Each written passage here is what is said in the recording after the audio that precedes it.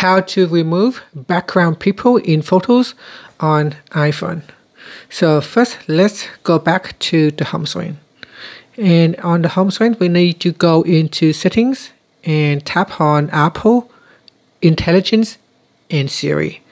Now in here, make sure you turn on Apple Intelligence to use uh, this feature. So turn it on.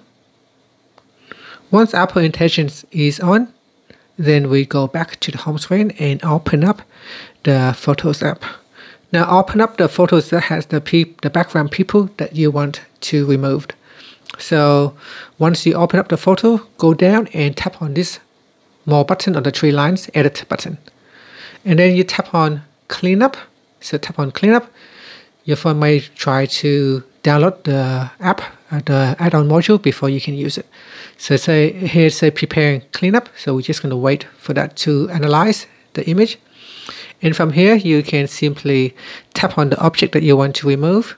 So here I'll cancel that. So here we've got the people in here. So you can simply tap on that.